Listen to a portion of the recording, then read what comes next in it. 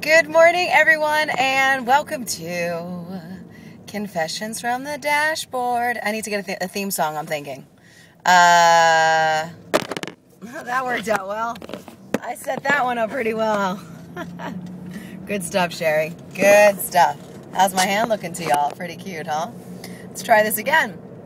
So, uh, hi, welcome to Confessions from the Dashboard. Uh, it is Sunday, and uh, I am going to get my my love on, my God on. I don't like to say God. I mean, I don't mind saying God, but as soon for some people, as soon as you say it, suddenly they're like ears shut down, brain shut down. Oh no, figure that people like this imaginary, whatever, whatever it is that brings you to center, whatever it is that makes you feel closer to yourself, that makes you feel just peaceful, calm, still. You know what I mean? Uh, for me, I love going, and I don't I don't go to too often because I'm usually working, and then that puts like a damper on the day. Um, I, I go to Agape Spiritual Center, which is uh, the guy who did part of The Secret, Dr. Michael Beckwith. He is the, um, I don't know if you want to call it reverend, whatever. It's a non denominational type thing. So uh, I love it, and it talks about all the stuff that I talk about universe, all that good stuff. Uh, so I am going today. I took today off. It is Oscar day, and I knew work would be dead. And uh, plus, I love watching the Oscars because I've always got a plan for my speech. Duh. Been planning on that since I was like two years old. What? It's only been over 30 years. My speech is going to be amazing. and about three pages long.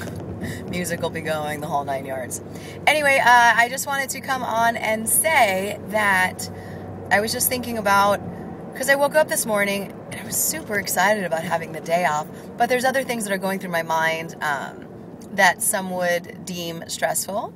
Uh, I don't know if deem's the right word, but some would say like categorize, oh, it's stressful, or it could be. And sure, it might be. Although we're the ones that think stressful thought, there's not stressful things or stressful thoughts, so that's really on us, really, at the end of the day. But I was just thinking about how easy it is to change your own day around, that no matter what is going on and what things are bothering you, what things are stressing you out, that you have the choice to go and do something that makes you feel good. And, uh, and so that's what I'm going to do. I'm not going to think about all those little things. Those things I have no control over. So, what I am going to do is I'm going to go do something that brings me love and makes me feel happy. And we always have the option to choose feel good thoughts. Feel good thoughts things that make you feel good, things that bring peace to yourself, things that make you smile, or whether it's music, whether it's thoughts, whether it's hanging out with certain people, you have the choice to choose the direction of your day. And uh, I'm choosing to go get my love on, get my God on, get whatever it is on. And uh, yeah, so wishing you all a happy Sunday.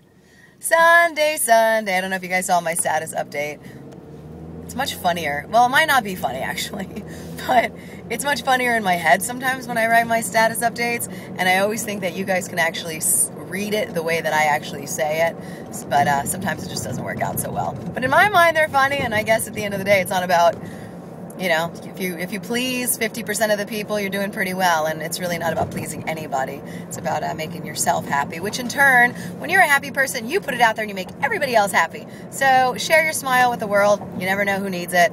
Cheesy, I know. Heard it somewhere. I'm not claiming it. Uh, all right, guys, have a wonderful, wonderful day. Happy Oscar Day. And uh, for those of you who enjoy the Oscars. And uh, I will talk to you all on the next episode of Confessions from the dashboard. Talk to you soon. Bye.